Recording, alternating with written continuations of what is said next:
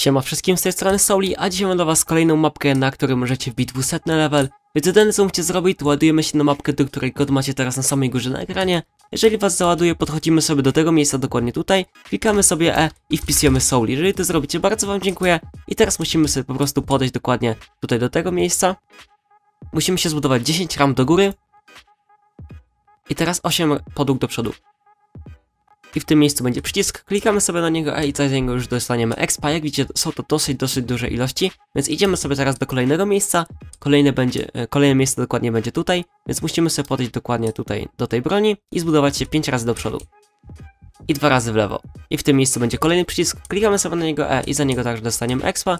Wracamy sobie i musimy teraz przejść do ostatniego miejsca, które będzie w lewym rogu mapy, więc idziemy sobie do niego.